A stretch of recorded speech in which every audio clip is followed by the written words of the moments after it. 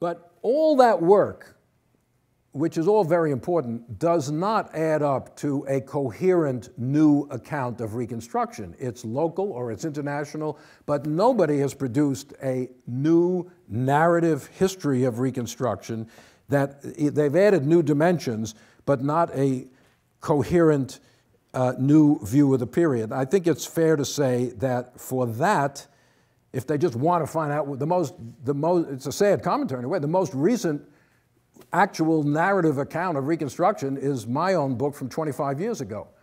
Because all this other work doesn't add, has not yet produced a new story of what happened in Reconstruction in all of these areas. So I think readers still have to return to that book, which is good for me.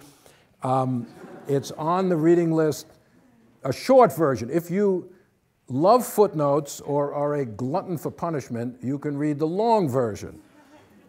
The short version is for people who don't have as much of an attention span. Um, I'm not going to summarize exactly what's in that book, which you will soon see, but I, would, I, I do want to, since um, this has occupied my life for a long time, because after I wrote that book, I then was involved in a PBS TV series about Reconstruction. I curated an exhibit about Reconstruction. I run a summer seminar every summer for high school teachers from around the country about how to teach Reconstruction. It's sort of been part of my life for a long time. So I just want to end up today by just telling you a little story, which is how I first got involved in this, as far as I can remember, which was in my ninth grade American history class at Long Beach High School out in Long Island. And our teacher, who I remember very well, was Mrs. Bertha Berryman known affectionately among the, us, the students, as Big Bertha, after a piece of artillery from World War I, which she somewhat resembled. And um, our uh, text was a very famous American history textbook of the 50s, another Columbia historian, David Muzzey's textbook. And um, echoing, Muzzey gave the traditional view of Reconstruction, and Mrs. Berryman, echoing that, said in class that the Reconstruction Act of 1867, which gave the right to vote for the first time for, to black men in the South, was the worst law in all of American history. I, for some reason, raised my hand and said, I don't agree with you, Mrs. Berryman. I think the Alien and Sedition Acts were worse. Mrs. Berryman said, All right, uh, if you don't like the way I'm teaching, Eric, you come in tomorrow and you can give a lecture on Reconstruction. Um, which I then proceeded to do, although with the help of my father, who was a historian, I have to admit, and my presentation owed a lot more to W.E.B. Du Bois than to uh, Muzzey. Now, at the end of the class, Mrs. Berryman, who was a genuine um, Democrat, small d, said, All right, class, you've heard me and you've heard Eric. Now we're going to take a vote as to who is correct, okay? So I wish I could uh, say that I carried the day, but in fact, only one student voted for me, my best friend, Neil Kleinman. other, than, other than that, everybody voted for Mrs. Berry. So probably in some subliminal way or psychological way, I was planning to get back at her. And uh, I hope that wherever she is, or probably down there, she's, uh, she has the time to, she has the time to read this book. Now, um, one of the areas, one of the areas, one of the reasons that Reconstruction remains misunderstood is the persistence of the Dunning interpretation in public history, in monuments, in historical markers, in museums.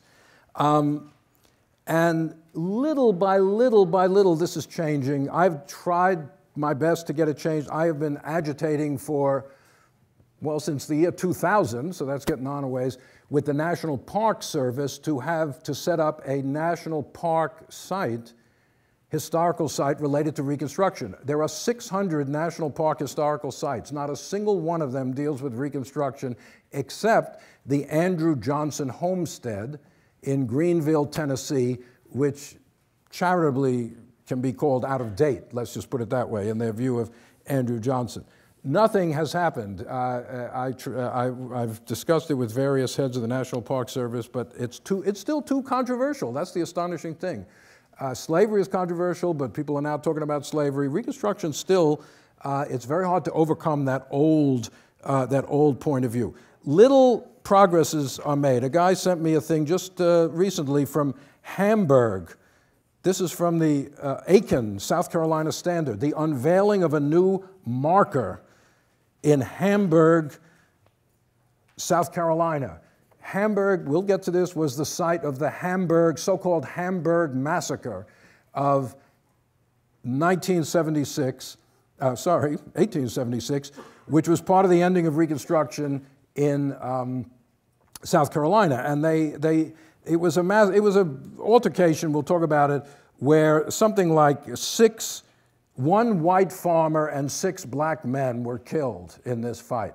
And later, the state put up a monument to the one white person killed without mentioning that six black people had also been killed, which is why they called it the Hamburg Massacre. So now, uh, well over a century, century and a half later, a new marker was put up to commemorate the Hamburg Massacre with, uh, with a, a more a balanced account, let's say, of what happened. And this was sent to me out of the blue by, uh, it, this is very nice, if you'll just pardon me for saying, you know, through this resurrection of Hamburg, the resurrection of Hamburg has been a long time coming. The fact that discussion is taking place in Aiken and Edgefield, South Carolina, is remarkable. The spark inspiring this can be traced to your book on Reconstruction. So, little by little by little, a different view of Reconstruction is, well, you know, I have to say, it's not, believe me, I didn't do anything about it, but it's, uh, I do feel that little progresses can be made. But, um, so anyway, my point is simply that um, the, the Reconstruction is a, more than most historical subjects. Reconstruction shows you that history actually matters. What people think about history matters. It affects what they do in the present. So it affects how they think about the society in the present. So as we go into the Reconstruction period. Just bear that in mind, how historical thinking has changed, where it ought to go from here, and whatever our interpretation, we shouldn't lose sight of the fact that something very important for our society was happening uh, during the Reconstruction period. So next time we will start looking at the immediate aftermath of emancipation in the South.